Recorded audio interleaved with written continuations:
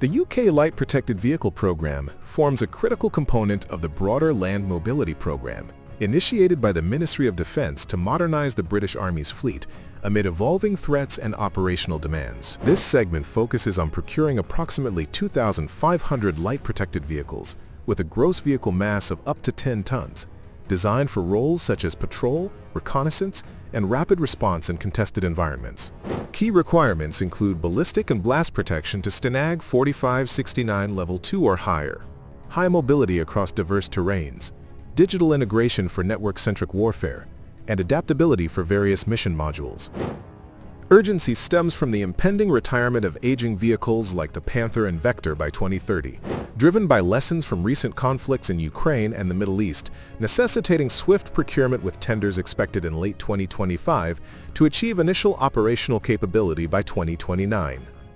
Several manufacturers have positioned their vehicles as potential candidates for the light protected vehicle segment, leveraging proven designs with enhancements for UK-specific needs like enhanced IED resistance and interoperability with NATO allies. Here are three prominent contenders based on industry demonstrations and program alignment.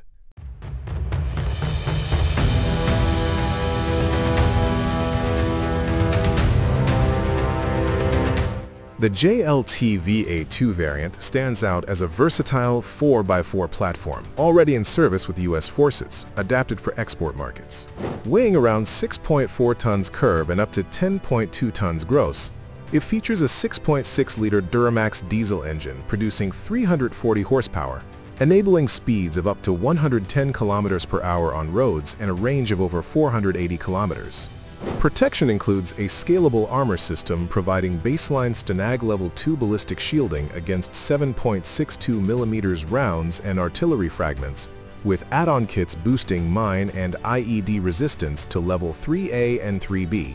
Mobility is enhanced by an independent suspension system and central tire inflation for off-road performance, while digital features include embedded diagnostics and compatibility with UK battle management systems.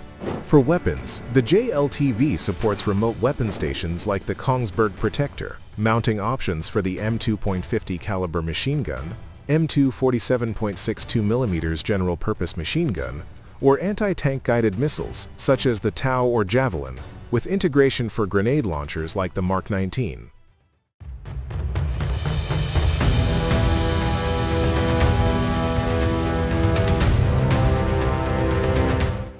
The AM General Humvee Saber represents an evolved iteration of the iconic high-mobility multi-purpose wheeled vehicle, optimized for light-protected roles with a patented armored cab.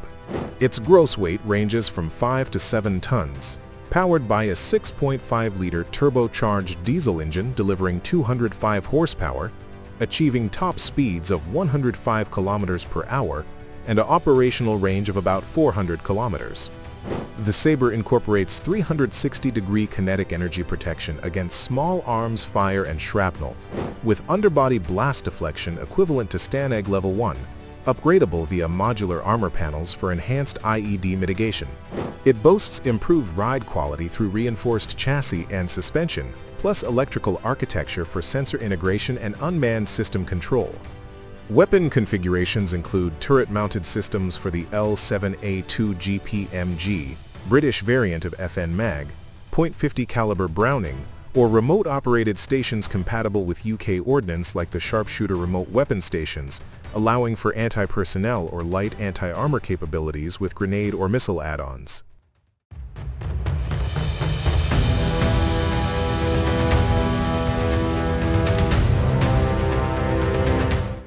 The KNDS Dingo 3 is a modern 4x4 or 6x6 armored vehicle designed for dangerous areas. It weighs up to 13.1 tons, with a 218 horsepower Mercedes-Benz diesel engine providing 810 Newton-meter torque, speeds of 90 to 120 kilometers per hour, and a range over 700 kilometers. It offers strong protection against mines, IEDs, bullets, and artillery at STANAG Level 3 or higher, using a V-shaped hull and add-on armor. Built on a reliable Unimog chassis, it has great off-road mobility, high clearance, and compact size for easy movement in cities or countryside. It includes systems for sensors and command links. Weapons feature a remote turret for 7.62mm guns like the Rheinmetall MG3, .50 caliber machine guns, grenade launchers, and options for UK anti-tank missiles.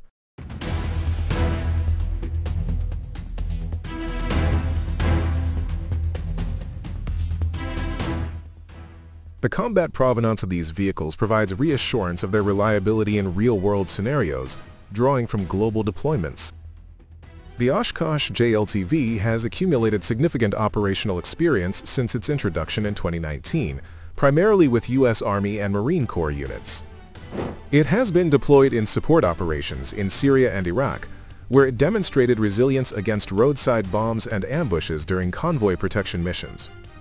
Its performance in Ukraine aid packages via U.S. transfers further highlights its adaptability in high-intensity conflicts against peer adversaries.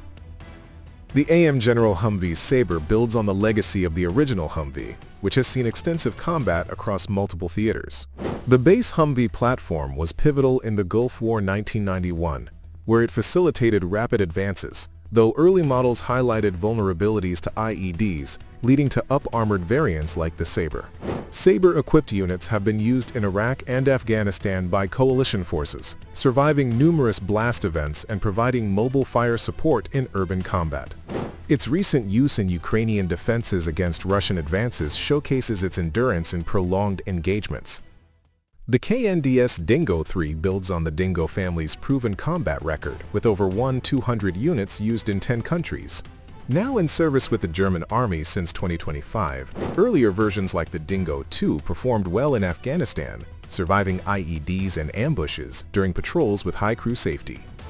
In Mali, they supported UN operations in tough deserts, handling gunfire and mines. Lately, Dingo models in Ukraine have shown toughness against artillery and drones in intense fighting, emphasizing their protection and movement.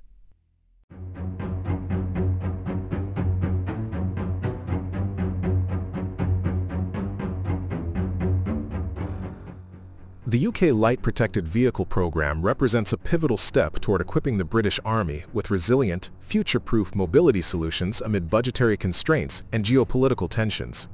Among the potential candidates, each brings a blend of proven protection, versatility, and combat-tested performance that could effectively replace outdated fleets. As tenders progress in late 2025, the selection will likely prioritize UK industrial involvement, cost-effectiveness, and rapid deployability to meet the 2030 deadline. Ultimately, this initiative not only enhances soldier safety, but also bolsters the UK's strategic agility in an increasingly volatile world ensuring readiness for hybrid threats and alliance commitments.